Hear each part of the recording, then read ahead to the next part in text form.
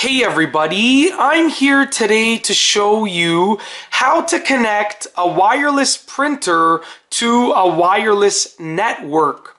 So as you can see right here, I have my wireless printer in front of me and I'm going to show you the process for connecting it to the wireless network.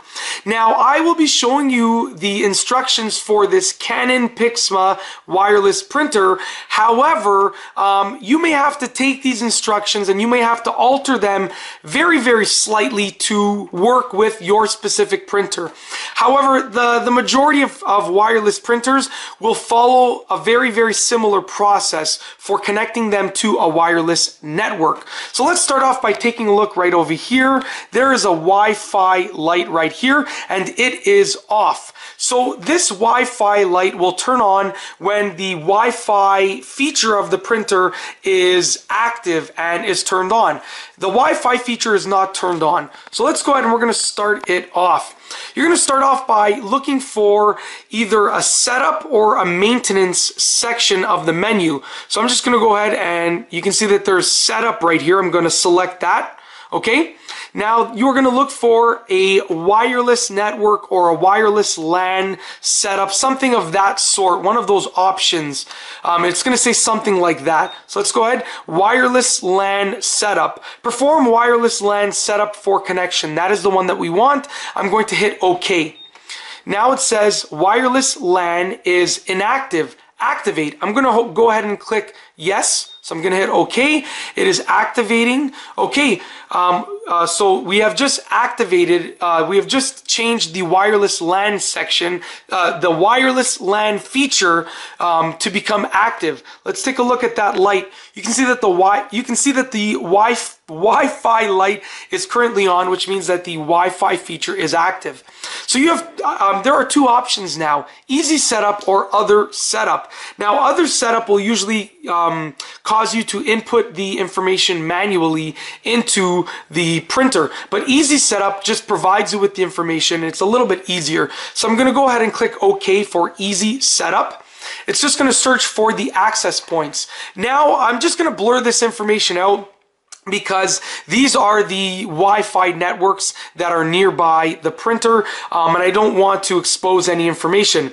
So I'm going to go ahead and I'm going to select the Wi-Fi network that I would like to connect to and it is already on it right now so I'm just going to hit OK. Alright, now it says enter passphrase. So now I need to enter the uh, the password for the for the Wi-Fi network. So once again, I'm going to blur this all out. I'm, I might even skip over it entirely, but I'm going to go ahead and I'm going to enter the password. So to do that, I'm going to hit this button because that says enter slash edit.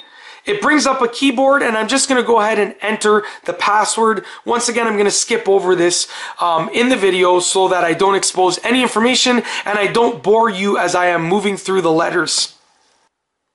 Okay, so I have entered the password and I'm just using my finger right here to blur out, uh, to block out the password. I'm just going to hit the OK button right here and now it's going to be connecting to the access point, which is the Wi-Fi network.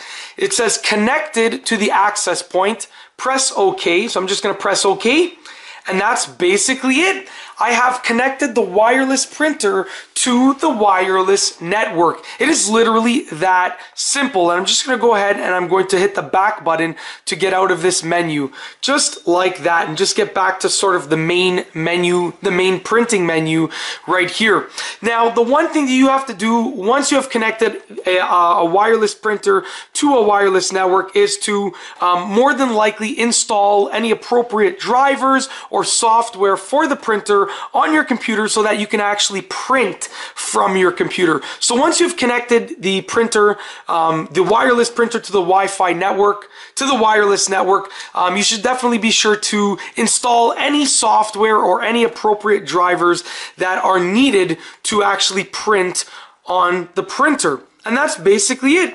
In this video, I have shown you how to connect a wireless printer to a wireless network. I have used step-by-step instructions to show you the entire process. And once again, I have done this with a Canon Pixma printer. Um, however, the majority of printers will use a very, very similar process.